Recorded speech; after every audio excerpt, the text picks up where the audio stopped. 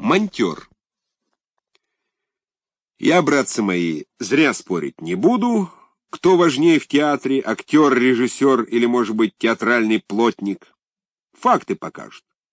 Факты всегда сами за себя говорят. Дело это произошло в Саратове или Симбирске, одним словом, где-то недалеко от Туркестана, в городском театре. Играли в этом городском театре оперу. Кроме выдающейся игры артистов, был в этом театре, между прочим, монтер Иван Кузьмич Мякишев. На общей группе, когда весь театр в 23-м году снимали на карточку, монтера этого пихнули куда-то сбоку, мол, технический персонал, а в центре на стул со спинкой посадили тенора.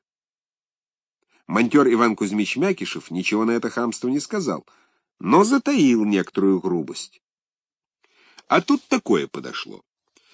Сегодня, для примеру, играют Руслан и Людмила, музыка Глинки, дирижер маэстро Кацман. А без четверти минут восемь являются до этого монтера две знакомые ему барышни. Или он их раньше пригласил, или они сами приперлись, неизвестно. Так являются эти две знакомые барышни, отчаянно флиртуют и вообще просят их посадить в общую залу, посмотреть на спектакль. Монтер говорит, да ради бога, медам, Сейчас я вам пару билетов сварганю, посидите тут у будки. И сам, конечно, к управляющему. Управляющий говорит, сегодня вроде как выходной день, народу пропасть, каждый стул на учете, не могу. Монтер говорит, ах так, говорит, ну так я играть отказываюсь. Отказываюсь, одним словом, освещать ваше производство. Играйте без меня. Посмотрим тогда, кто из нас важнее и кого сбоку сымать, а кого в центр сажать. И сам обратно в будку выключил по всему театру свет к чертовой бабушке, замкнул на все ключи будку и сидит, отчаянно флиртует.